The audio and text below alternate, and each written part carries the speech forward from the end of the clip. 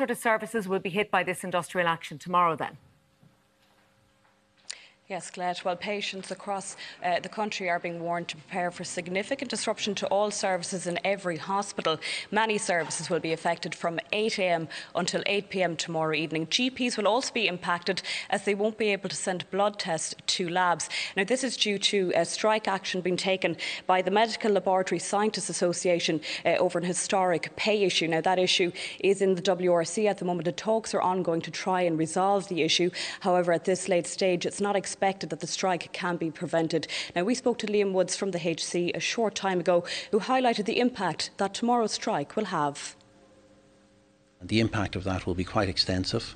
Uh, we're already uh, cancelling planned work across the system, and patients will have been cancelled direct, cancelled directly by phone call from their hospitals in almost all cases.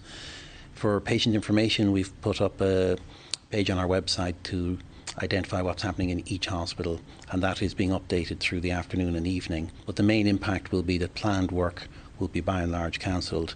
Emergency departments will remain open. We would ask patients first to go to their GP where that's relevant uh, and only come to emergency departments in the event of emergency. But the, the services will run as best they can per normal in the emergency departments.